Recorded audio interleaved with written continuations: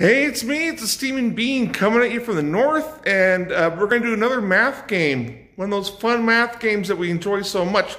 This is what I call egg carton math. All right. All you need for this game is an old egg carton and two little things that you could um, put in the egg carton. Like, for example, these are two beads that you could get at any hobby shop.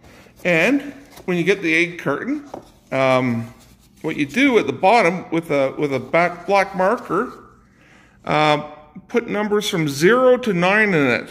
And of course, you're gonna have a couple numbers that will be repeating. Okay, and this is a fun game. What you can do now is um,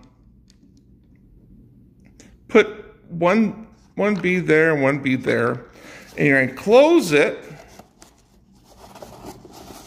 this is a little bit tricky with one hand because the other hand's holding the, the, the uh, camera phone. And shake, shake, shake. Shake, shake, shake. All right. So let's how we see how we did, eh? Open up the carton. And you have, oh, look.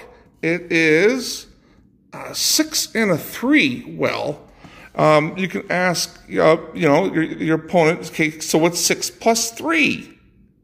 You know, they say nine, good job. But you could also do what is um, subtract 3 from 6? Or how many times does 3 go into 6? Or what is 3 times 6? So this is a great game for those in elementary school, you know. Uh, this could be, you know, good, you know, you have a little bit extra time in math class, you do a quick game.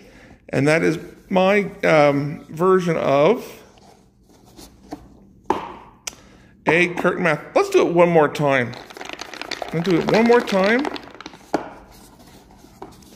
Okay. Oh, look. That's all right. So, look, both are in the 7. Okay, so what's 7 minus 7? 0.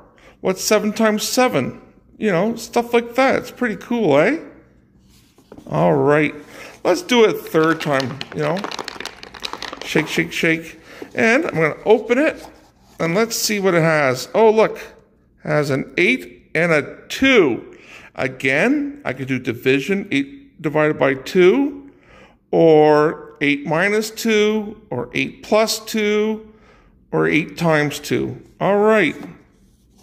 A fun game for elementary school kids just to, you know, refreshing their math, uh, math skills.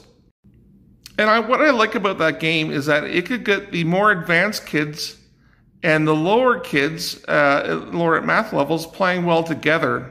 And who knows, maybe you have uh, two kids face off each other and have a third kid as a referee with a calculator. Avoids arguments.